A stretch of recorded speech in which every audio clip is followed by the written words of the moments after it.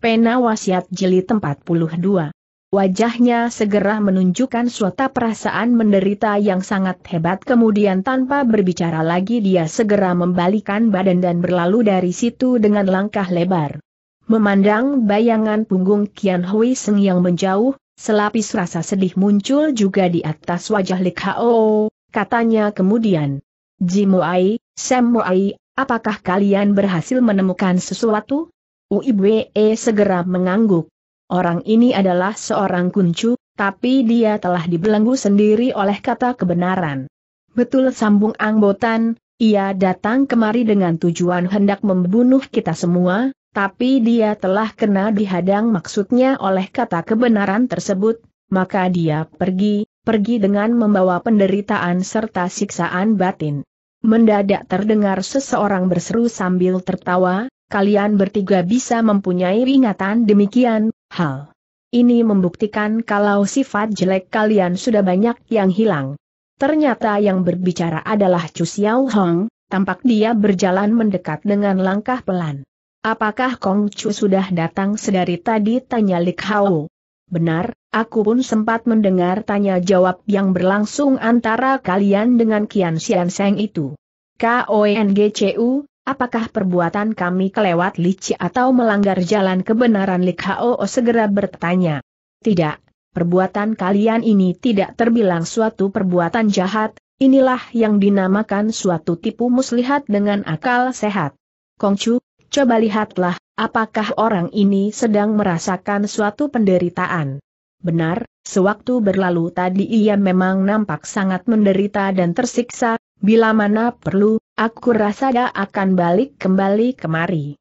Oh oh oh oh, bila dia sampai kembali lagi ke sini, maka apa yang harus kita lakukan untuk menghadapinya tanya UIBE. Orang ini adalah seorang lelaki sejati, maka bila suatu pertarungan dengan kekerasan bisa dihindari, lebih baik kita jangan sampai bertarung dengannya. Kongcu, andai kata kita berhasil mengorek penyebab dari penderitaannya itu, apa pula yang hendak kita lakukan membantu ataukah menghadapinya sebagai lawan? Bila kita bisa memperbanyak bantuan orang sehingga memperbesar kekuatan, lebih baik kita manfaatkan kesempatan tersebut dengan sebaik-baiknya, sebab hal itu berarti kita telah mengurangi kekuatan lawan, soal membantu atau tidak, soal ini mudah untuk diatasi, Asalkan bagi kita tidak mendatangkan kerugian, maka kita bisa saja membantunya dengan sepenuh tenaga. Mendadak dia menarik napas panjang-panjang dan melejit ke tengah udara, kemudian dengan suatu gerakan cepat dia menyelinap ke balik dedaunan yang rimbun. UIBWM menarik napas panjang-panjang kemudian berseru. Kongcu, kira kami untuk menyelesaikan persoalan ini mungkin tidak terhitung baik? Harap Kong Chu suka memberi petunjuk setiap waktu. Dari balik rimbunnya dedaunan segera terdengar suara Chu Xiao Hang sedang menyaut.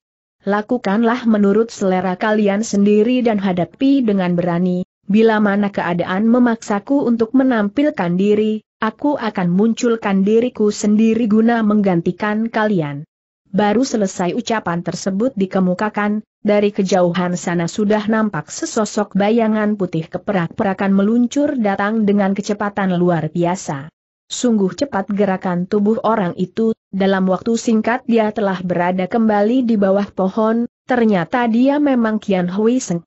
Lik Hao segera maju sambil menjura, kemudian katanya, menjumpai Lo Chiampue. Dalam kenyataan ketiga orang nona itu memang bermaksud untuk menyudutkan posisi kakek itu, maka mereka bersama-sama membungkukan badan untuk memberi hormat. Kian Hui Seng segera menggoyangkan tangannya berulang kali sambil berseru. Kalian tak usah banyak adat, kalian tak usah banyak adat, terpaksa Lehu harus balik kembali lagi kemari, dan mungkin juga perbuatan selanjutnya akan menyalahi kalian. Oh oh, oh Lo Chiam Pua, ada urusan apa?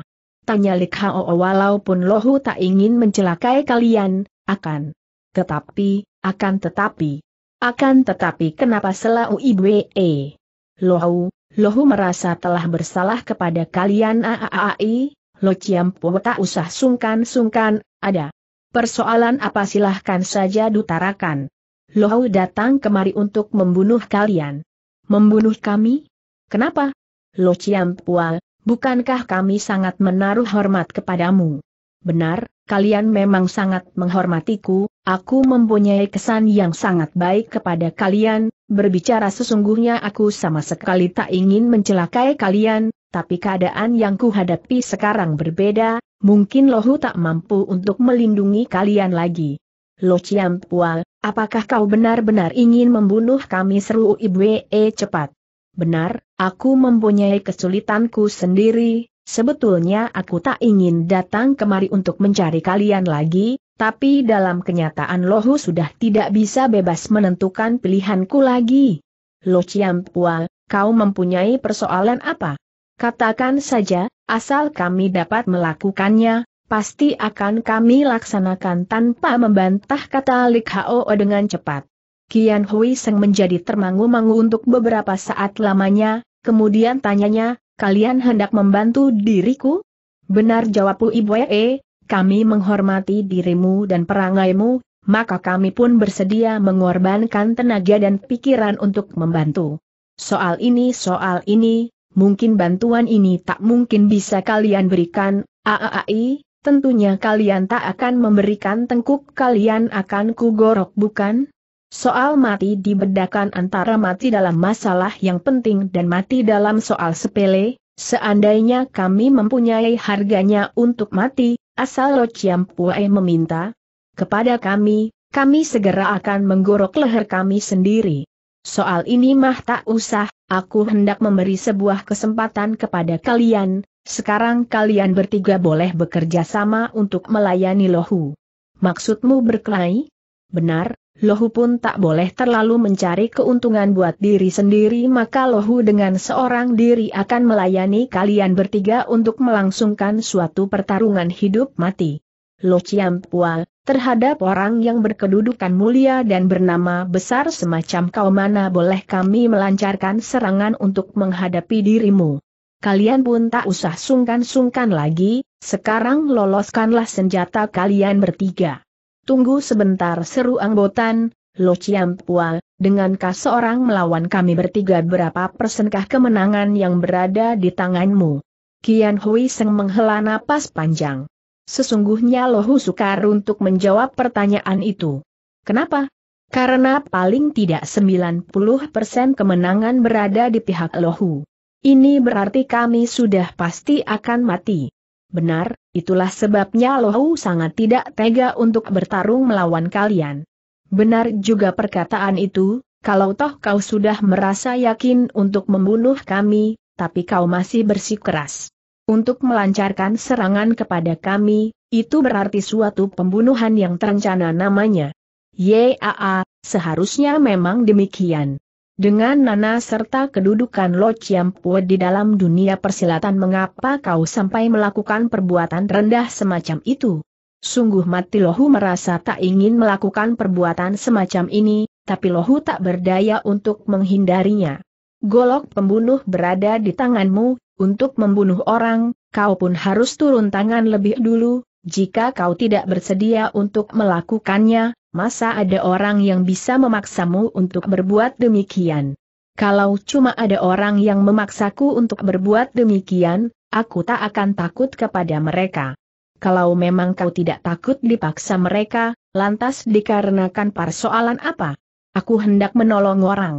Angbotan segera menghela napas panjang.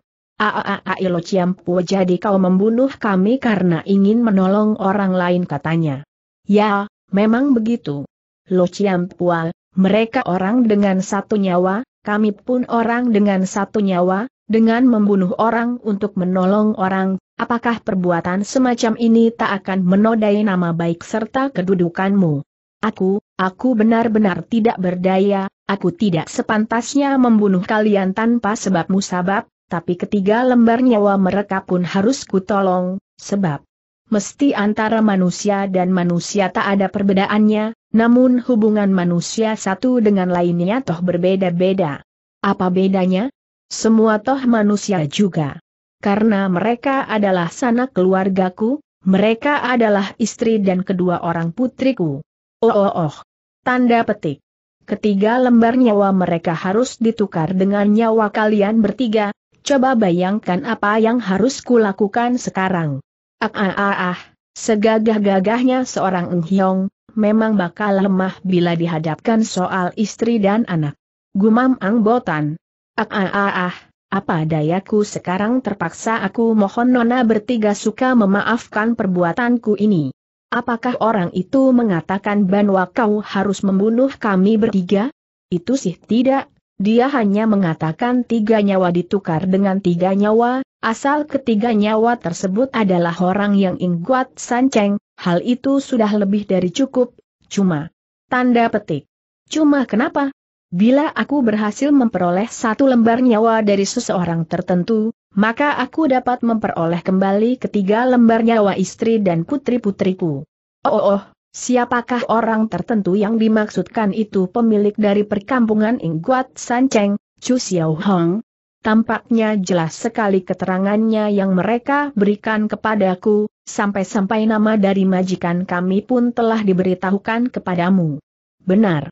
Semua gerak-gerik kalian semua berada dalam pengawasan mereka, Cuma sayang aku tidak bertemu dengan Chu Xiao Hong, asal aku bisa menemukan dirinya maka kalian pun boleh tak usah mati. Padahal sekalipun kau bisa berjumpa dengan majikan kami, kau pun tak akan berdaya untuk menghadapinya. Kenapa? Karena, karena, belum tentu kau dapat membunuhnya. Paras muka Kian Hui Seng segera berubah hebat, serunya dengan cepat. Kau mengatakan kalau aku tak mampu membinasakan dirinya? Tiba-tiba terdengar suara dedaunan berisik dan Chu Xiao Hang telah melayang turun dari atas pohon besar. Kian Hui Seng segera mengawasi Chu Xiao Hang, beberapa saat lamanya, setelah itu dia menegur. Kau kah Cheng Chu dari perkampungan Ingguat San Cheng betul akulah Chu Xiao Hang? Berapa usiamu tahun ini pentingkah persoalan ini? Aaai, dengan usia lohu setua ini, bila diharuskan membunuh seorang bocah seperti kau, apakah hal ini tak akan ditertawakan oleh umat persilatan? Orang ini memang terlalu banyak berbicara, walaupun dia sudah bertekad hendak membunuh orang, tapi masih banyak yang dirisaukan bahkan khawatir sekali bahwa perbuatannya itu akan mengganggu nama baiknya.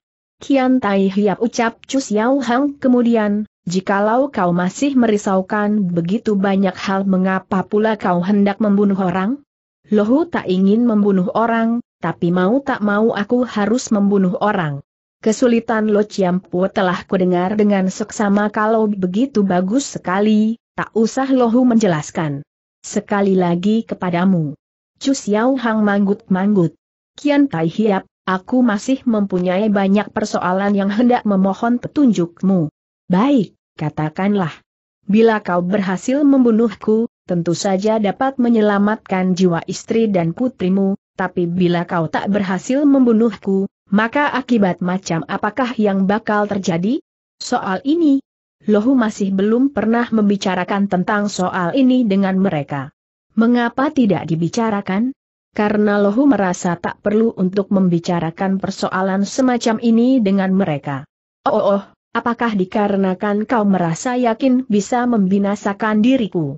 Lohu pun tak usah bersikap sungkan lagi denganmu, mungkin kau atau ketiga orang anak buahmu pasti akan berhasil menjadi korban di tangan Lohu. Seakan-akan kau merasakan yakin sekali akan hal ini. Benar, kalau Lohu tidak mempunyai keyakinan, mereka pun tak akan mencari Lohu untuk melakukan perbuatan ini. Chu Xiao Hang tersenyum. Tak usah merasa takut soal lain, yang ditakuti adalah seumpama sampai terjadi, seandainya Kian Tai Hiap sampai gagal dengan usahamu untuk membunuhku, bukankah hal ini justru akan mencelakai istrimu dan putri-putrimu? Chu Xiao Hong, apakah kau menganggap lohu bukan tandinganmu? Aku tak ingin berbicara, tapi aku pun tak ingin menilai rendah kemampuanku, dalam suatu pertarungan, maka soal menang kalah, masing-masing pihak berhak memegang separuh bagian. Maksudmu, kesempatan untuk menang atau kalah di antara kau dan Lohu masing-masing adalah separuh bagian? Tampaknya Kian Tai Hiap seperti tidak percaya dengan perhitunganku. Tidak percaya sama sekali tidak percaya seru Kian Hui Seng dengan suara dingin. Kian Tai Hiap, mengapa kau tidak balik dulu untuk membicarakan persoalan ini dengan majikanmu itu? Dengan sorot mata yang amat tajam Kian Hui Seng memperhatikan seluruh badan Chu Xiao Hang dari atas sampai ke bawah, setelah itu, katanya lagi. Bocah cilik, kalau dilihat dari parasmu kamu seperti mempunyai satu kepandaian yang hebat, tapi kau sudah pasti bukan tandingan lohu. Sekalipun kau kian tai hia pasti dapat menangkan diriku, rasanya juga tak perlu menyerempet bahaya tersebut, mengapa tidak balik dulu untuk membicarakan persoalan ini hingga jelas. Kian Hui Seng termenung dan berpikir beberapa saat lamanya kemudian ia menjawab.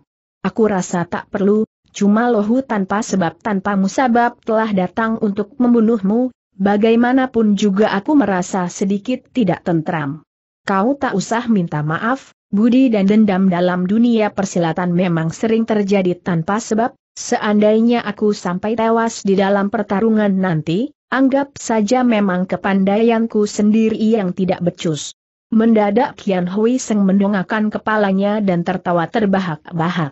Haa Haa, haa, bagus, anak muda kau memang seorang pemuda yang sangat gagah, Lohu bersedia meluluskan permintaanmu. Meluluskan permintaan apa? Bila Lohu telah membunuhmu nanti, aku bersedia menyelesaikan suatu keinginan atau suatu harapanmu yang belum terselesaikan sekarang. Tidak usah, harapanku kelewat banyak, sekalipun Kian Tai Hiap ingin membantu juga tak mungkin bisa membantunya. Cu Cheng Chu sayang sekali kita harus berjumpa dengan suasana dan keadaan seperti ini, kalau tidak, Lohu bersedia untuk mengikat tali persahabatan dengan dirimu. Tak usah sungkan-sungkan, kalau toh Kian Tai Hiap bersikeras hendak berbuat demikian terpaksa aku akan melayani keinginanmu. Cu Cheng Chu dalam bidang senjata tajam, atau tangan kosongkah kepandaianmu paling sempurna? Kian Tai Hiap sendiri, Ilmu golok lohou sangat baik, begitu golok berkelebat, orang pasti akan tewas, sehingga orang persilatan menyebutku golok lewat tidak bersuara, sedang soal ilmu tagan kosong lohou percaya kepandaianku di bidang ini pun cukup lumayan, oleh karena itu Cu boleh memilih sesuka hatimu, cuma setelah pertarungan dimulai lohou hendak menerangkan lebih dulu, baik dalam soal ilmu pukulan maupun ilmu senjata, Lohu tak akan berbelas kasihan kepadamu, oleh sebab itu kau pun tak usah sungkan-sungkan. Chu Xiao Hang termenung sebentar, kemudian katanya, mari kita mencoba tangan kosong dulu, jika menang. Kalah belum bisa ditentukan kita boleh lanjutkan bertarungan dengan menggunakan senjata tajam. Baklah, kau harus berhati-hati. Begitu selesai ia berkata, kelima jari tangan kanannya telah diayunkan ke depan dada Chu Xiao Hong. Serangan ini dilancarkan dengan kecepatan luar biasa. Agaknya Chu Xiao Hang telah mempersiapkan diri sedari tadi, dia segera menarik napas panjang dan tiba-tiba saja mundur sejauh tiga depa dari tempat semula.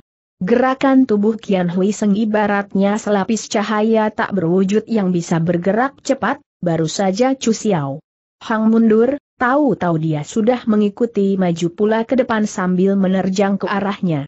Secara beruntun Chu Xiao Hang harus berkelit sebanyak tiga kali sebelum berhasil menghindarkan diri dari serangan lawannya ini. Setelah sadar kalau musuh yang dihadapinya sekarang adalah jago lihai dari dunia persilatan, diam-diam pemuda itu merasa terperanjat. Dalam terkesiapnya, dia segera menghimpun segenap kemampuan dan perhatiannya untuk menghadapi segala kemungkinan yang tak diinginkan. Kian Hui Seng tampak manggut-manggut sembari berkata, Bocah cilik, kepandaianmu hebat juga. Terima kasih, kau terlalu memuji. Sekarang Lohu hendak memberi sebuah kesempatan kepadamu untuk melancarkan serangan balasan. Kita sama-sama bertarung, rasanya kau pun tak usah mengalah kepadaku hati-hati, aku hendak melancarkan serangan balasan. Tiba-tiba ia melompat ke muka sambil melancarkan sebuah pukulan dahsyat. Kiam Hui Seng menyaksikan serangan itu datangnya sangat dahsyat, dengan cepat dia mengayunkan pula telapak tangannya untuk menyambut datangnya ancaman tersebut. Ketika sepasang telapak tangan saling bertemu, segera terjadilah suara benturan yang sangat keras. Blaam. Chu Xiao Hang merasakan seluruh badannya seolah-olah dihantam oleh sebuah benda yang beribu-ribu kati beratnya, tanpa terasa badannya mencelat sampat setinggi satu kaki lebih sebelum berhasil mengendalikan diri lagi. Buru-buru dia jumpalitan di tengah udara dan melayang kembali ke tanah. Dengan cepat Chu Xiao Hang menarik napas panjang-panjang, setelah itu pelan-pelan dia baru berkata, Kian Tai Hiap, Sungguh sempurna amat tenaga dalam yang kau miliki. Setelah menyaksikan pemuda melayang turun kembali ke tanah, Kian Hui Seng memandangnya sambil menunjukkan rasa keheranan, ia menarik napas panjang-panjang, lalu berkata, Cu Cheng Chu, baik-baikkah kau? Masih mendingan, serangan yang kau lancarkan barusan benar-benar mempunyai kekuatan yang mencapai beribu-ribu kati beratnya. Tapi toh tidak berhasil melukai dirimu, juga tidak membuat kau kehilangan kemampuan untuk melanjutkan kembali pertempuran. Pada saat sepasang telapak tangan kita mula-mula berjumpa, aku memang sedikit merasa seakan-akan tak sanggup mengendalikan diri lagi. Cu Cheng Chu, apakah kau pernah melatih ilmu untuk menyingkirkan tenaga orang? Chu Xiao Hang memang pernah melatih kepandaian tersebut, Itulah pelajaran dari si Koaisian Uitong yang mengajarkan bagaimana caranya memindahkan tenaga. Pukulan orang ke tempat lain, hanya saja dia sendiri tidak tahu. Sebelum merasakan tenaga pukulan dari Kian Hui Seng tadi, daya tekanan lawan yang serangannya datang bergelombang, tanpa terasa pemuda itu telah menggunakan ilmu untuk menyalurkan tenaga pukulan orang ke benda lain, kalau tidak niscaya dia akan dibikin terluka parah oleh serangan lawan yang maha dahsyat tersebut. Chu Xiao Hang tak bisa menjawab pertanyaan orang secara terang-terangan, tapi dia pun tak dapat menyangkal, maka sambil tertawa lebar katanya. Tenaga pukulanmu tampaknya jauh berbeda daripada tenaga pukulan orang lain. Aaai dengan usia Cheng Chu yang masih muda, ternyata sanggup menerima pukulan penembus hatiku yang sangat dahsyat. Hal ini menunjukkan kalau kepandaian silat yang kau miliki memang benar-benar sudah mencapai ketingkatan yang luar biasa. Mendengar perkataan itu diam-diam Chu Xiao Hang merasakan hatinya bergetar keras, pikirnya. Dia menyebut ilmu pukulannya sebagai ilmu pukulan penembus hati, tampaknya merupakan sejenis ilmu silat yang maha dahsyat dan mengerikan sekali, Tak nyana pada saat ini aku berhasil menghindari serangan yang mematikan itu. Padahal tiada sesuatu kejadian yang begini kebetulannya dalam kolong langit, cuma saja Chu Xiao Hang masih belum terlampau memahami diri sendiri, dia tidak mengerti kalau saat ini kepandaian yang dimilikinya sudah amat hebat, terutama sekali ilmu untuk mengalirkan tenaga pukulan orang. Seandainya dia tahu akan hal ini dan berhasil melatihnya hingga mencapai kesempurnaan yang bisa menuruti perasaan sendiri, mungkin dia bisa manfaatkan pula kesempatan itu untuk balas menyerang lawan. Chu Xiao Hang merasa Kian Hui Seng benar-benar adalah seorang manusia yang sangat menakutkan, dia tak dapat memberi kesempatan lagi kepadanya, sambil menghimpun tenaga serta merta serangan gencar dilancarkan secara bertubi-tubi. Setelah menderita kerugian sekali, Chu Xiao Hang telah bertindak lebih seksama dan cekatan, dia berusaha keras untuk menghindari suatu bentrokan kekerasan dengan tenaga pukulan lawan. Oleh sebab itu selama pertarungan berlangsung, dia selalu melancarkan serangan disertai dengan lompatan-lompatan, sementara tenaga pukulan lawan yang keras dan kuat, selalu dihadiri dengan kelitan-kelitan yang seksama. Sejak serangannya gagal merobohkan musuhnya, Kian Hui Seng telah menilai Chu Xiao Hang kelewat tinggi, dia melakukan serangan maupun pertahanan secara cermat dan seksama. Tapi puluhan gebrakan kemudian dia mulai merasa bahwa tenaga serangan lawan sesungguhnya tidak kelewat aneh dan sakti maka sambil tertawa tergelak dia mulai mengembangkan serangkaian serangan gencar yang bertubi-tubi. Tampak sepasang telapak tangannya diputar bagaikan roda, dalam waktu singkat sepasang tangan itu sudah melancarkan serangan sebanyak sembilan buah lebih. Kedelapan belas serangan tersebut bukan saja dilancarkan dengan suatu kekuatan yang luar biasa dan lagi dilepaskan pada saat yang hampir bersamaan. Chu Xiao Hang sebenarnya berada pada posisi menyerang secara berulang kali, Tapi dengan cepatnya pula dia kena desak orang sehingga harus merubah posisinya di pihak yang bertahan. Kian Hui Seng segera menghela napas panjang, serunya. Kau benar-benar seorang manusia yang sangat aneh. Telapak tangannya melancarkan serangan-serangan yang lebih gencar lagi, memaksa Chu Xiao Hang menjadi repot dan kalang kabut sendiri. Setelah melancarkan serangan-serangan untuk membendung datangnya serangan Kian Hui Seng yang datangnya secara bertubi-tubi, dia lantas balik bertanya. Apa yang kau herankan? Sewaktu aku orang Shikian melancarkan pukulan penembus hati yang disertai tenaga pukulan yang begitu dahsyatnya, kau dapat menghindarkan diri secara mudah, sebaliknya serangan yang kulancarkan sekarang bukanlah terhitung sebuah pukulan yang aneh, tapi nyatanya kau seakan-akan seperti tak sanggup menahan diri. Mendadak permainan kepalan tangan Chu Xiao Hang telah berubah, jurus-jurus serangan aneh dilancarkan keluar berulang kali. Chu Xiao Hang yang sebenarnya sudah berada dalam posisi yang terdesak dan terancam marah bahaya, dalam 3-5 gerakan saja, dia telah berhasil memperbaiki posisinya yang amat buruk itu. Sembari menahan ancaman-ancaman yang dilepaskan Chu Xiao Hong, diam-diam Kian Hui Seng merasa terkejutnya bukan kepalang, diam-diam dia lantas berpikir.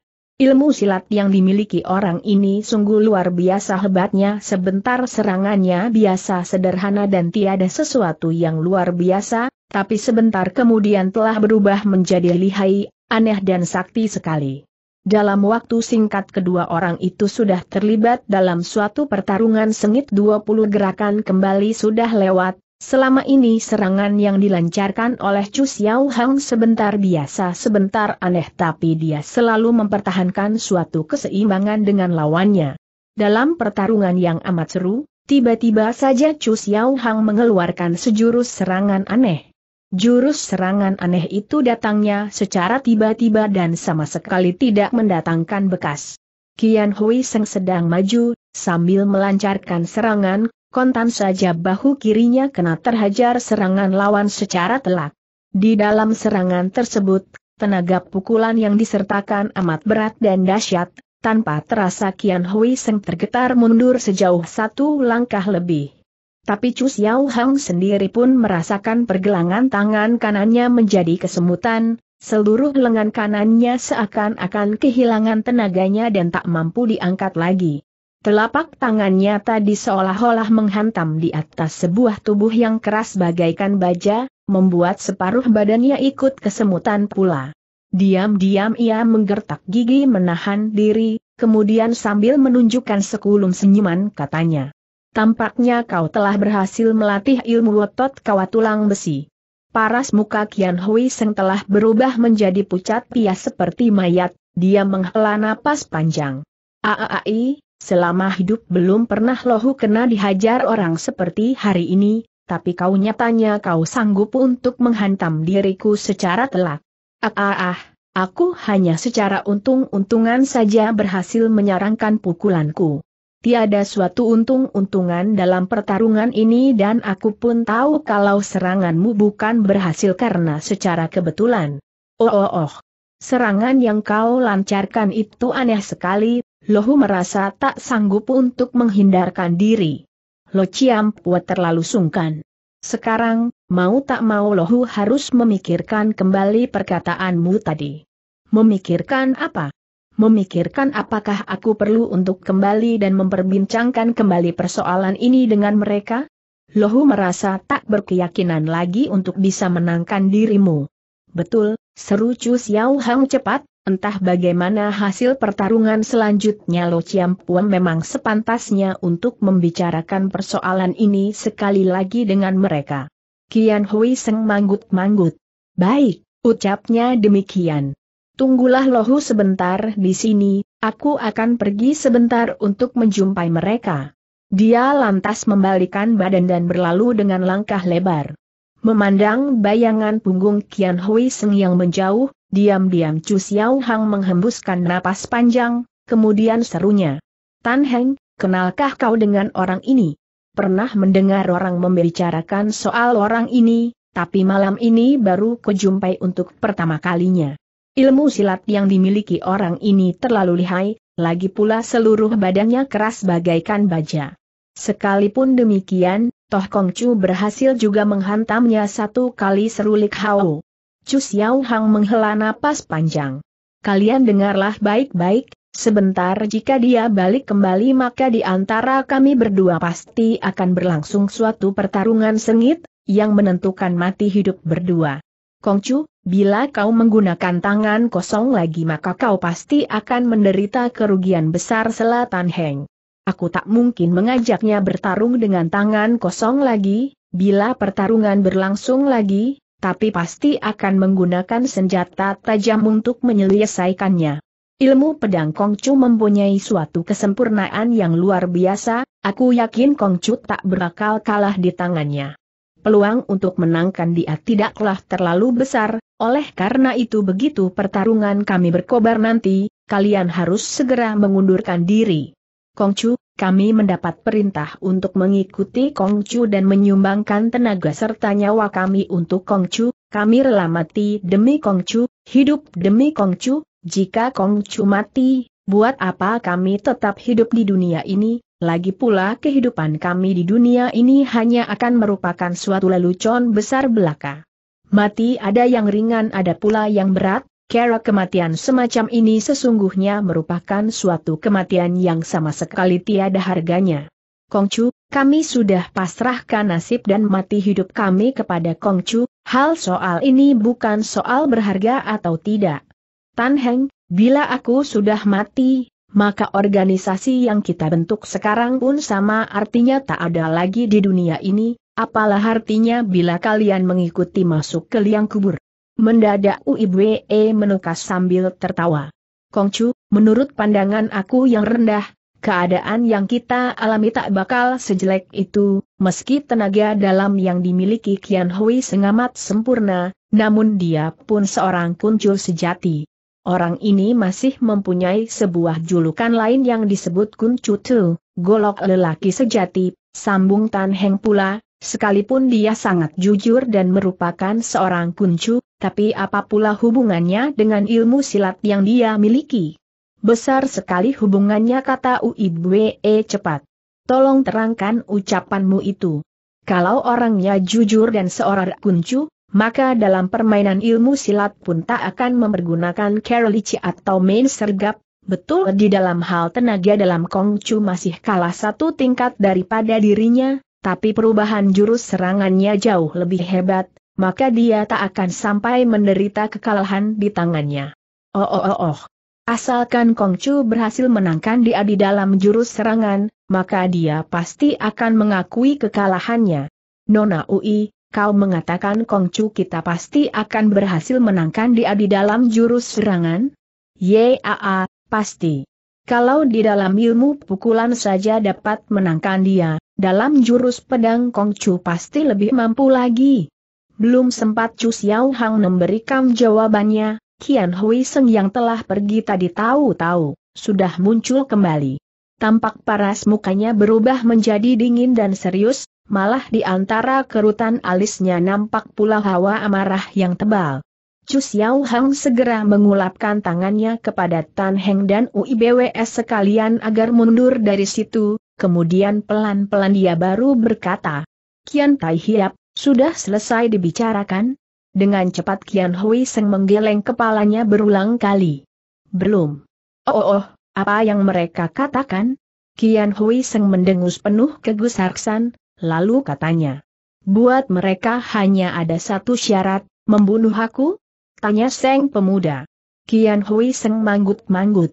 Dan sekarang bagaimanakah keputusan dari Kian Tai Hiap kembali Chu Xiao Hang bertanya.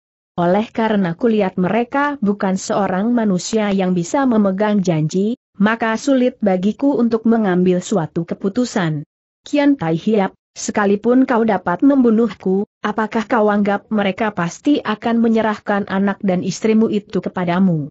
Tentang soal ini Lohu memang sedang merasa curiga jawab Kian Hui Seng dengan suara dalam. Itulah sebabnya, sekarang Lo Chiampu sudah mulai merasa bimbang dan ragu. Benar, Lohu memang benar-benar merasa amat bimbang, setelah berhenti sejenak, kembali dia melanjutkan.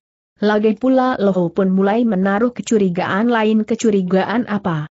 Curiga kalau Lohu sanggup membunuh dirimu. Tenaga dalamku masih ketinggalan jauh bila dibandingkan dengan tenaga dalam yang dimiliki Kian Tai Hiap kata Chu Xiao Hang cepat-cepat. Tapi dalam jurus serangan kau mempunyai kepandaian yang luar biasa saktinya dengan perubahan-perubahan yang sukar diraba. Aku rasa pertarungan sengit di antara kita berdua bukanlah sesuatu yang penting, paling penting sekarang adalah membahas apakah hasil yang akan kita peroleh setelah menang kalah berhasil ditentukan?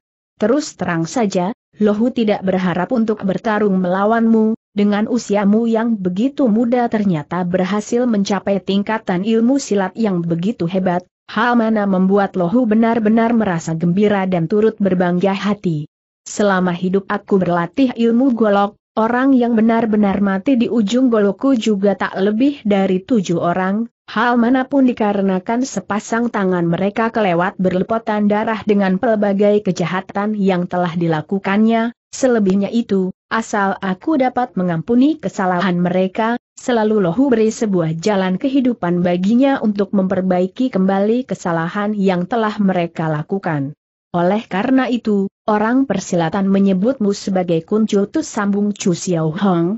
Setiap perbuatan yang lo laksanakan, tentu disertai dengan landasan serta alasan yang kuat, peduli bagaimanakah pandangan orang persilatan terhadap perbuatanku, Lohu tak pernah memikirkannya di dalam hati, apa yang Chu Cheng Chu katakan benar-benar suatu ucapan yang kelak yaa, benar juga perkataanmu, sekalipun Lohu membunuh dirimu, belum tentu mereka akan melepaskan anak istriku.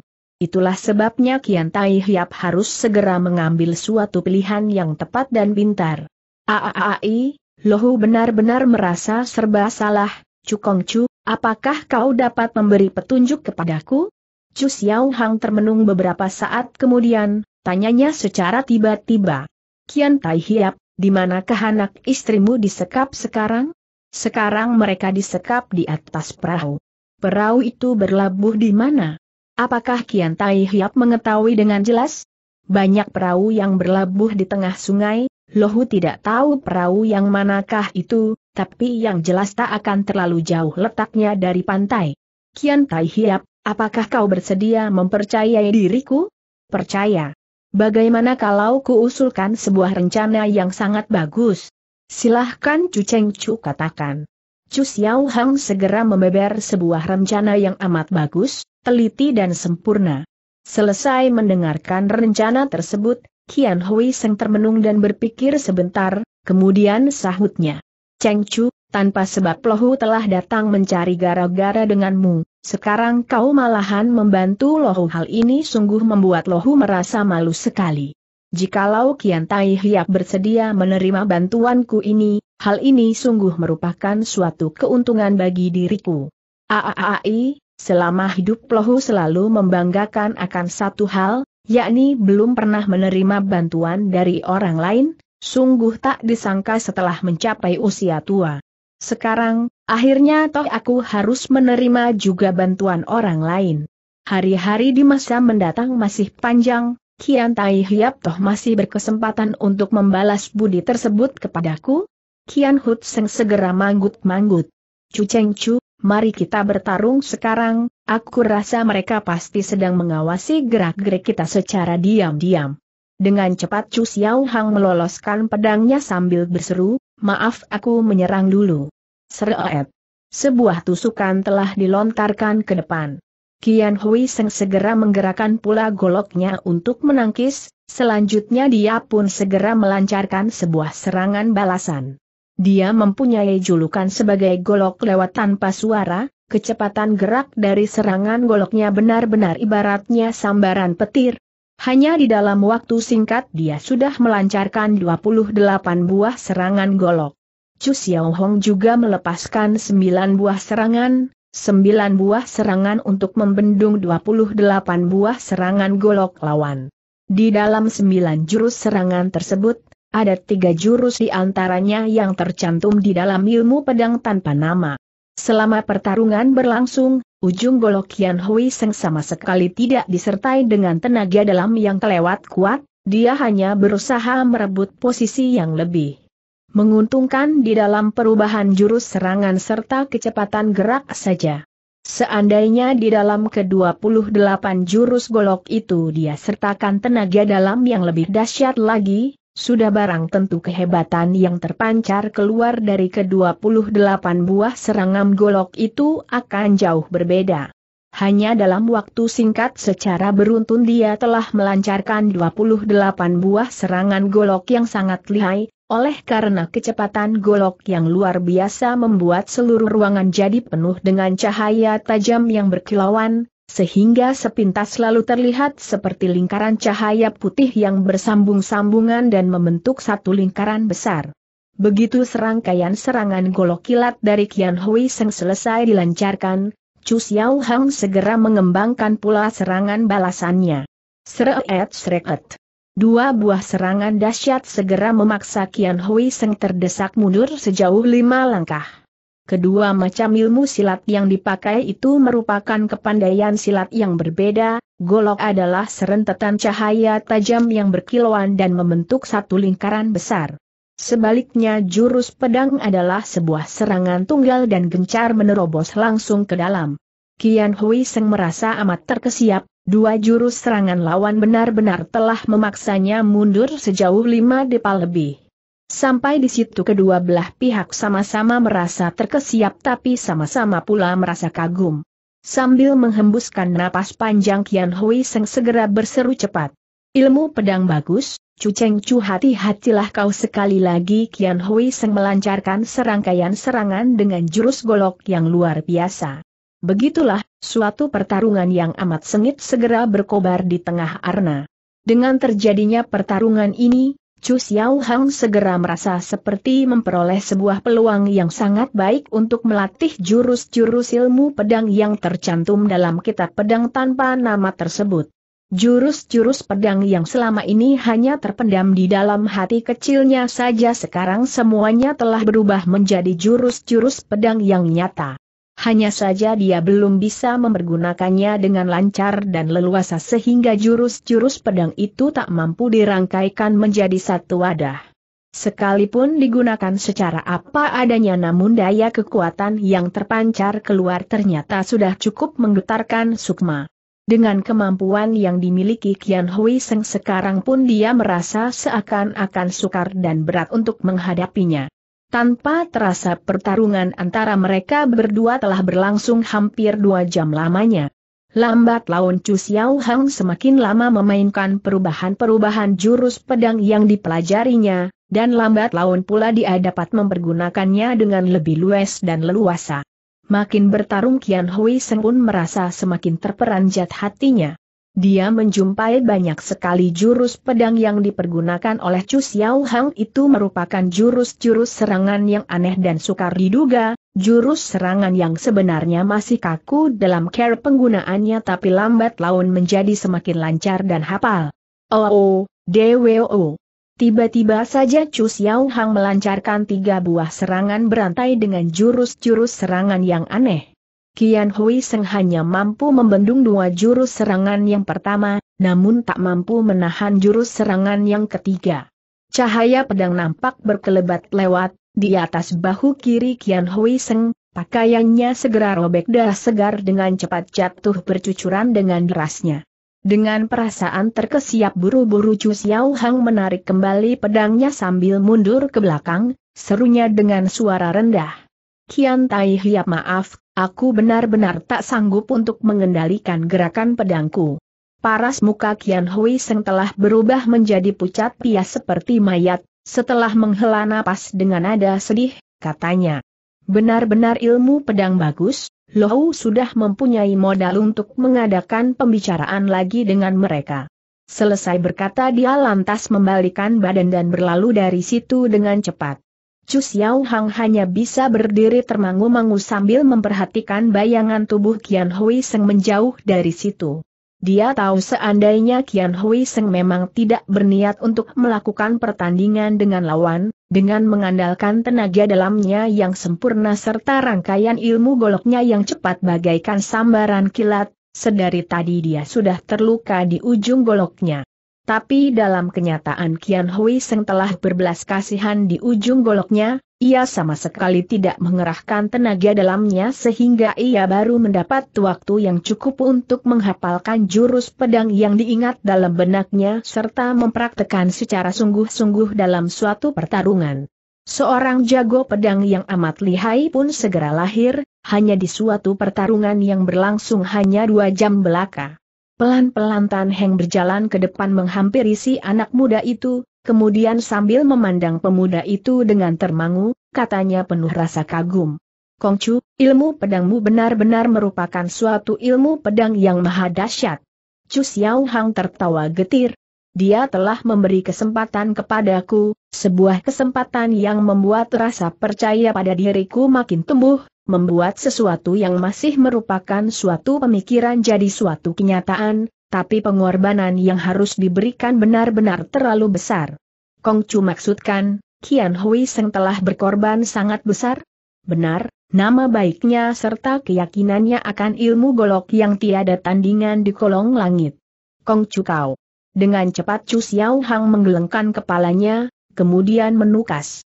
Tan Heng sampaikan perintahku, gunakan segenap kekuatan dan kemampuan yang kita miliki dan peduli berapa besar pengorbanan yang harus kita bayar, kita harus berusaha untuk menyelamatkan anak istri Kian Tai Hiap. Tan Heng mengiyakan, dan segera membalikan badan dan berlalu dari tempat itu. Sepeninggal Tan Heng, Lik Hao segera berjalan mendekat, kemudian katanya dengan suara rendah. Kongcu, kau tak usah kelewat menyesali diri sendiri, menurut penglihatan budak, kau benar-benar berkemampuan untuk menangkan dia dan lagi pula suatu kemenangan yang benar-benar jujur dan terbuka, seandainya Kongcu tidak segera menarik kembali seranuganmu, niscaya bacokan pedang tadi telah berhasil mengutungi lengan kirinya. Tapi bila dia melancarkan serangan dengan sepenuh tenaga, dalam seratus gebrakan saja dia masih sanggup merenggut nyawaku. Oh oh oh oh. Dia telah berbelas kasihan kepadaku, di dalam melancarkan serangan goloknya tadi ia tidak sertakan tenaga dalamnya, itulah sebabnya aku baru dapat melatih diri dalam jurus-jurus pedangku yang sesungguhnya belum. Ku kuasai, untunglah aku berhasil menangkan satu gebrakan darinya. Ketika mendengar perkataan tersebut, Lik Hao segera menundukkan kepalanya dan tidak berbicara lagi. Kembali Chu Xiao Hang berkata, Jago lihai seperti Kian Hui Seng, Kian Tai Hiap jarang sekali dijumpai dalam dunia persilatan, seandainya ilmu goloknya tidak sangat lihai, mustahil jurus pedangku bisa terpancing keluar. Kong Chu terlalu berjiwa mulia. Chu Xiao Hong, mengalihkan sorot matanya dan memandang sekejap ke arah Lik Hao, Uibe serta Angbotan, tiba-tiba satu ingatan melintas dalam benaknya, segera ujarnya. Ketika melakukan perjalanan dalam dunia persilatan tempo hari, apakah kalian bertiga pernah bekerja sama untuk menghadapi musuh? Walaupun kami bertiga mempunyai hubungan persaudaraan yang amat akrab, tapi jarang sekali bekerja sama untuk menghadapi musuh jawab Lik Hao. Mengapa? Setiap kemampuan yang dimiliki tiap manusia adalah berbeda, turun tangan bersama menghadapi lawan pun tentu bisa mendatangkan hasil apa-apa, malahan ada kalanya justru merepotkan diri sendiri. Oh oh oh, kiranya begitu. Ia lantas mengulapkan tangannya sambil berseru, mari dekatlah kemari. Ketiga, orang perempuan itu segera berjalan mendekati Chu Xiao Hong. Sekarang aku hendak mewariskan serangkaian ilmu pedang yang terdiri dari tiga jurus serangan kepada kalian, Ilmu pedang tersebut agaknya merupakan semacam ilmu pedang yang amat baik untuk dilancarkan bersama-sama. Dia mengatakan agaknya itu, berarti tidak berani memastikan secara meyakinkan, hal mana membuat Lik Hao menjadi tertegun. Maksud Kongcu, kau sendiri pun tidak begitu paham apakah kepandaian tersebut merupakan suatu ilmu kerjasama atau bukan kata Uibwe kemudian. Jici, Apakah kau belum dapat melihat? Kongcu adalah seorang yang berpandangan luas, tapi belum sempat memperoleh kesempatan untuk mempergunakan jurus pedang tersebut, barulah dalam pertarungannya melawan Kian Tai Hiap tadi dia baru berhasil memahami pelbagai jurus pedang yang tersimpan di dalam benaknya selaang botan. Chu Xiao Hang segera manggut-manggut. Yaa, memang begitulah dia berkata. Kong Chu bersedia mewariskan ilmu pedang kepada kami, sebelumnya kami semua ucapkan banyak terima kasih, di sini terdapat sepuluh jurus serangan ilmu pedang, tiga jurus menyerang tiga bagian tubuh manusia bagian atas, tiga jurus menyentuh tiga bagian tengah dan tiga jurus menyerang bagian tubuh manusia bagian bawah. Sebenarnya serangan itu harus dilancarkan oleh satu orang, tapi andai kata ada tiga orang yang melancarkan serangan bersama, bukankah kekuatannya menjadi jauh lebih tangguh? Benar. Kongcu, Bila setiap orang melancarkan tiga jurus serangan, berarti jumlahnya baru sembilan jurus, bagaimana dengan yang satu jurus lagi tanda tanya seruang botan. Sisanya yang satu jurus tak perlu kalian pelajari lagi kata Chu Xiao Hang cepat. Mengapa? Kalau kalian setiap orang sudah melancarkan tiga jurus serangan, namun belum berhasil memukul mundur lawan, maka kalian tak usah bertarung lebih jauh. Sepuluh kurang satu, apakah jurus serangan ini menjadi tidak lengkap dan kedodoran? Tepat sekali ilmu pedang ini memang disebut Sip Jian Kiam Hoat, ilmu pedang tidak lengkap. Sip Jian Kiam Hoat? Mengapa ilmu pedang tersebut dinamakan demikian tanya Ui Bwe? Sesungguhnya Chu Xiao Hang sendiri pun merasa amat tidak mengerti tentang ilmu pedang Sip Jian Kiam Hoat tersebut, tapi sesudah ditanya oleh Hui Bwe, satu ingatan dengan cepat melintas di dalam benaknya, dengan cepat dia menjawab. Karena ilmu pedang ini semuanya tercerai-berai, dalam setiap jurus serangan tersebut seakan-akan terdapat banyak kekurangan-kekurangannya. Ilmu pedang Kongcu amat sempurna, jurus serangannya juga sangat aneh, kepandaian tersebut benar-benar merupakan kepandaian yang belum pernah kami sekalian saksikan sebelumnya ucap Angbotan. Bila ilmu pedang yang dihafalkan Kongcu, sudah dapat dipastikan kepandaian itu tentu merupakan semacam kepandaian yang lihai sambung UIBE. Orang yang cacat mata, tentu saja tajam dalam pendengaran, tambah Lik Hao. Ucapan tersebut segera melintaskan satu ingatan dalam benak Chu Xiao Hong, sambil tertawa segera sambungnya. Benar, justru karena serangannya kelewat dahsyat sehingga ada cadatnya, maka ilmu tersebut baru dinamakan Sip Jian Kiam Hoat, akan tetapi jika tiga orang cacat turun tangan bersama, mendadak gak membungkam, termenung tidak berbicara lagi. Lik Hao sekalian segera berpaling, mereka saksikan Chu Xiao Hang sedang berdiri dengan wajah serius, tampaknya dia sedang memikirkan suatu masalah yang penting.